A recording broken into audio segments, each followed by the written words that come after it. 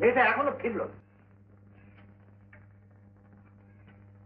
জাফর, কি করি শুনছ? ওটা একটা চা দাও দেখিন চটপট। আমার জ্বরটা এখনও ছাড়েনি। হ্যাঁ?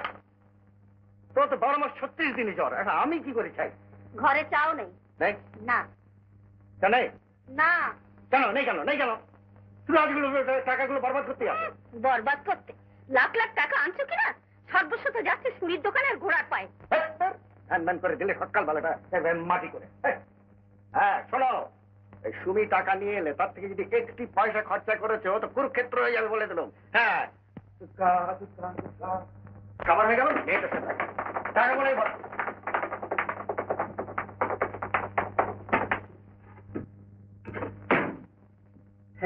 এই যে সুমিমা টাকাটা? পঞ্চাশ। পঞ্চাশ? পঞ্চাশ কেন একশো টাকা দামের কথা ছিল পঞ্চাশ কেন? বাকিটা পরে দেবে বলেছে। পরে দেবে? কেন কি পরে দেবে?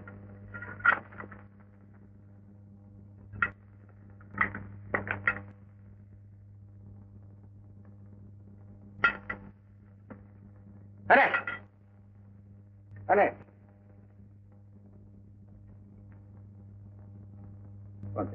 পঞ্চাশ। টাকা রাখ। এক প্যাকেট চা এনে রাখবি। আর তোমার যারা কোনো ছাড়িনি তোদের জন্য বাজার করে নিবি আ, আমি এ, এ, এ, এবেলা খাবো না বুঝলি বুঝলি আর এ, টাকা এ, যাতে বরবাদ করবি না বল দিবি আমি চেক করবো না আমি টাকা যদি না দেয় সর, সর, সর, সর, সর।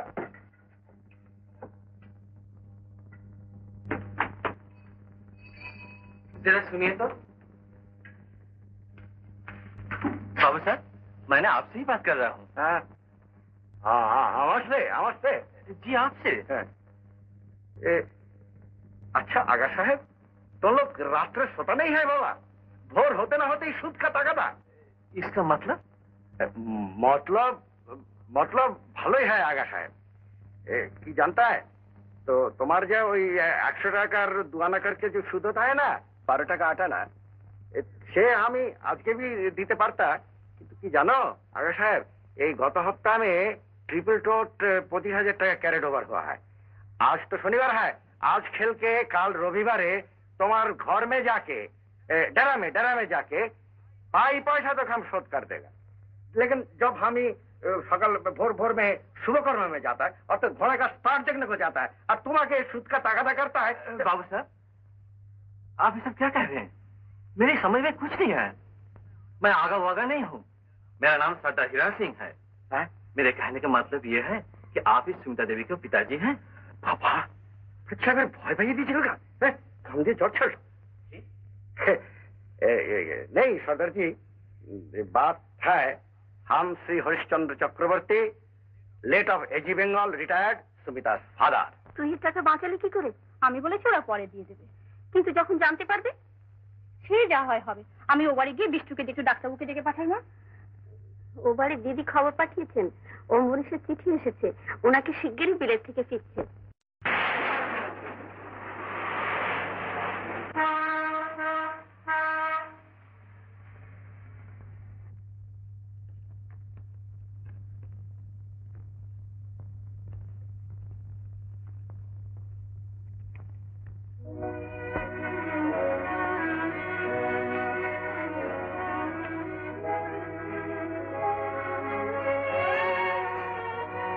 তাহলে একুশ তারিখটাই ঠিক রইল? আর কথাটা যেন চাউর না হয়। আপনার বাকি টাকাটা ওই দিনেই পেয়ে যাবেন। আজ তো চোদ্দ তারিখ তাই সাত দিনের মধ্যে সেবার আমার সেবার আমার। আপনাকে একটা পয়সা খরচা করতে হবে না। ওই বালিগঞ্জের লোক যাচ্ছে একটি বাড়ি ভাড়া করতে। বিয়েটা ওইখান থেকেই হবে। হ্যাঁ আর একটা কথা। বিয়ের পরে আপনার মেয়ের ঘন ঘন বাপের বাড়ি যাওয়া চলবে না। শুনলাম যে আপনার ঘোড় দৌড়ে খুব শক্ত আছে তা একটু আধটু। তবে কি জানেন স্যার গরিব মানুষ ভরসার মধ্যে পেনশনের ওই কটি টাকা আর বাড়ি ভাড়া ষাটটা টাকা। এ দিয়ে তার রেস খেলা যায় না। তবে হ্যাঁ এখন যখন আপনার অনুগ্রহ পেয়েছি তাহলে ওই কথা রইল। হ্যাঁ। হীরা সিং এনে ঘর পৌঁছা দো চলি বাবুজি। হ্যাঁ। চলো বাবা সর্দার। এ দিয়ে নিশ্চয় হোক। না এ কিছুতেই হবে না। হ্যাঁ, মন্দবাজি পায়।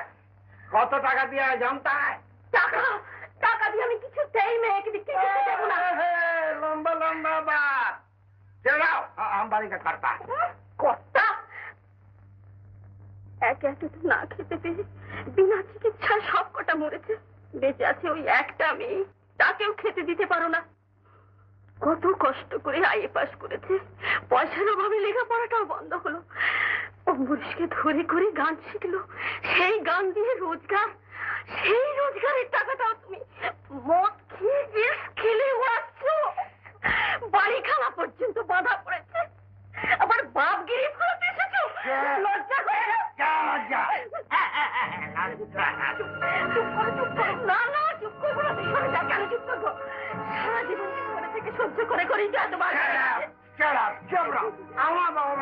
বন্ধ দিয়েছি। তোর বাড়ি থামো, আর গলাবাজি করো না। লড়াই করছি।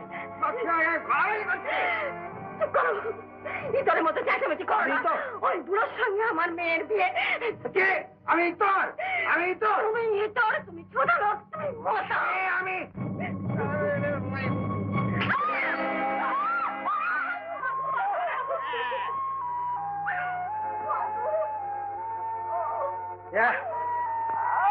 পাঁচটাই বরবাদ হয়ে গেল। এখন এত রাত্রে আমি বৃষ্টি বলে পারলে নেই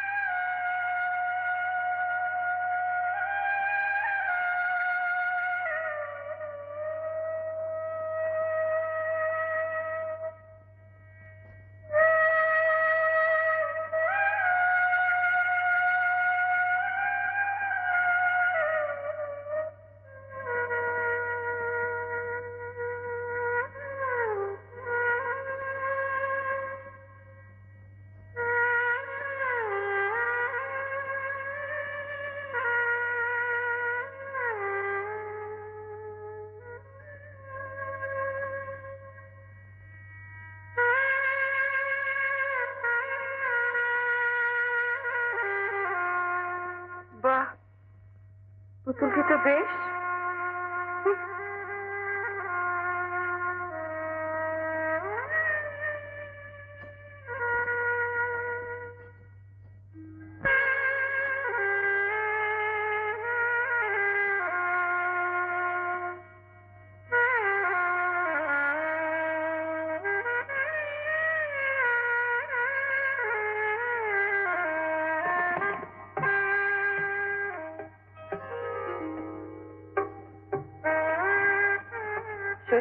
সত্যি সত্যি একটা পুতুল নিয়ে এলে রাজা। আমি ওকে বিয়ে করে এনেছি মাধুরী। দশ বছর আগে আর একটি পুতুল ঘরে নিয়ে এসেছিলে। অবশ্য বিয়ে করে না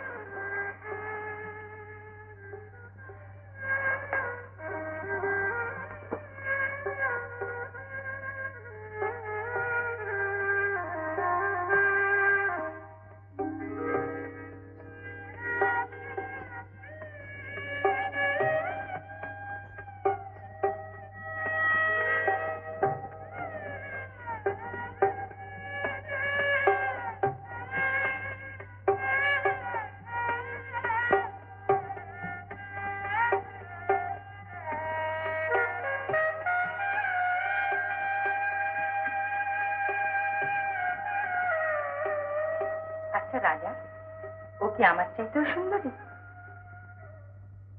আমি রূপ দেখে বিয়ে করিনি। ও রূপ দেখে নয় গুণ দেখে। তা বটে লেখাপড়া জানি গান গাইতে পারে। আর আমার তো কোনো গুণই নেই তাই না? কিন্তু কিন্তু কি? না বলছিলাম এই পুতুলটিকে নিয়ে খেলা কতদিন চলবে? মাধুরী, সুমিতা আমার বিবাহিতা স্ত্রী। কাজেই কাজেই আজ ফুলসূত্রের রাত। মধু জামিনী পালন করতেই হবে। কিন্তু রাজা, তোমার নিজের বয়সটা আর তোমার ওই সুমিতার বয়সটা একবারটি তুলনা করে দেখো।